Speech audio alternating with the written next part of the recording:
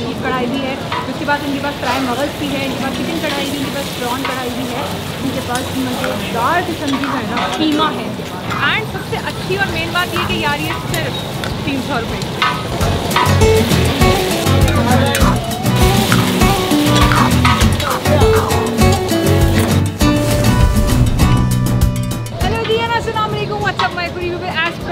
हम second blog भी लेकर आएँगे। तो यार, मैंने कहा था ना कि तीन सौ रुपये की सस्ती कढ़ाइयाँ यहाँ पे मिल रही हैं। और उसको खाने के लिए टेस्ट करने के लिए कि यार, आखिर शिनवारी कढ़ाई तीन सौ रुपये में क्यों दे रहे हैं ये लोग? वो पता करने के लिए टेस्ट करने के लिए, उसकी टेस्ट प्रोफ़ाइल चेक करने के लिए आपकी बहन हाजिर है यहाँ पे विद अनदर क्रेजी ब्लॉग पीछे जो मेरे देख रहे हो आप, वहाँ पे ये पूरा जो क्रेजी किस्म का है सेटअप और ये इन चाचा साहब को जाता है पूरा क्रेडिट कि यार ये जब बनाना शुरू कर रहे होते हैं ना मैं सीधी बताऊँ बिल्कुल फास्ट सर्विस पे जो है ना वो पूरी कढ़ाइयाँ बना रहे हैं। बहुत ही किस्म का माहौल ऑन है।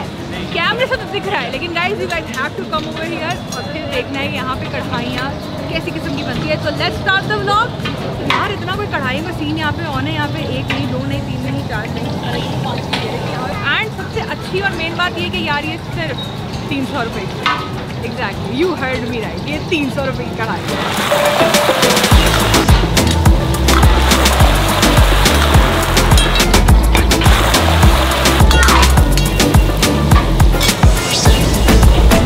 जीना कढ़ाई बहुत लजीजा और मटन कढ़ाई। अभी तक हमने ये तीन चीज़ें खाई है, चार चीज़ें। और बहुत लजीजा हमारे कुलीग्स भी खाते हैं, यहीं पे आके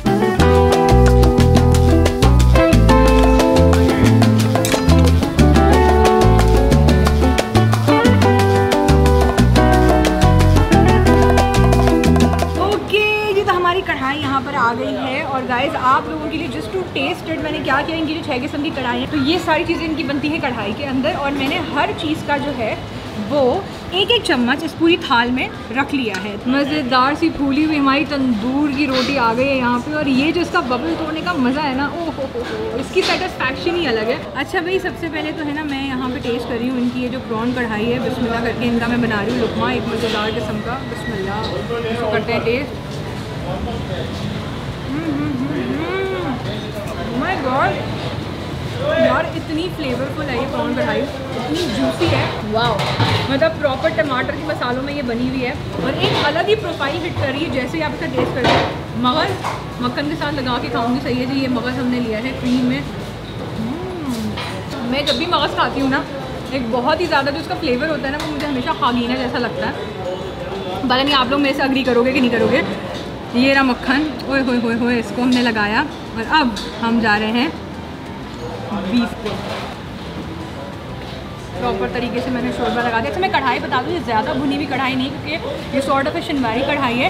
तो इसका जो टेक्सचर होता है, वो सेमी वाटरी होता है और बहुत ही फ्लेवरफुल होता है, क्योंकि ये बनती ही टमाटर के मसालों में है बिस्मिल्लाह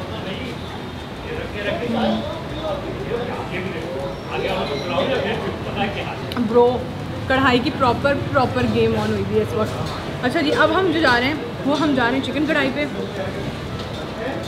ओए होए होए होए वाह।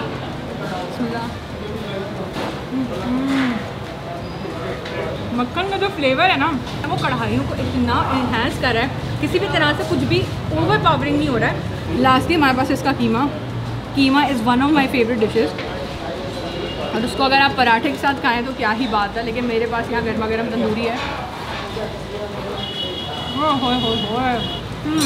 कीमा में थोड़ा सा नमक तेज़ है। जैसे आप फ़र्स्ट बाइट अभी जो मैं खा रही हूँ ऑब्वियसली आप खाओगे, वो चीज़ें डिफरेंट होगी, लेकिन अगर मैं रेट करूँ इन सबको तो for me the top would be prawn kadai second number पे मैं बोलूँगी बीफ की कढ़ाई को, फिर मैं बोलूँगी चिकन को, उसके बाद मैं बोलूँगी मगज़ एंड देन मैं बोलूँगी कीमा आई होप ये लिस्ट डाउन रिव्यू पसंद आया होगा, ज़रूर आना इस जगह पे और मज़ेदार सी ये मज़ेदार से फ़ूड आइटम ज़रूर ट्राई करना, मुझे ज़रूर बताना because I love your feedback खुदा